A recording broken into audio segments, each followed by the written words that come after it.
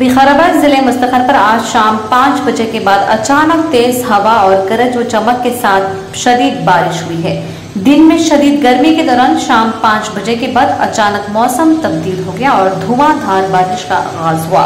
शाम छह बजे के बाद इस बारिश की शिद्दत में मजीद इजाफा हुआ। जायद दो घंटों तक बारिश का ये सिलसिला जारी रहा। इस बारिश के बायस सड़कें और नशीबी इलाके जेर आब आ गए और झीलों का मंजर पेश कर रहे थे।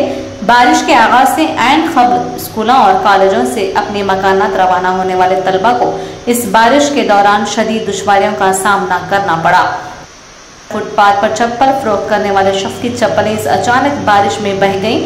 ताहम, किसी तरह इस शख्स ने इसे जमा किया, जबकि राह चलती लड़कियों और खातून ने भी इस शख्स की मदद की। ताहम, कई चप्पलें ड्रेनेज में बह गईं।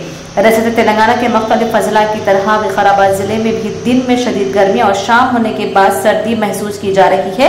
आज शाम होने वाली शदीद बारिश के बायस विखाराबाद टाउन में मौसम मजीद सर्द हो गया है।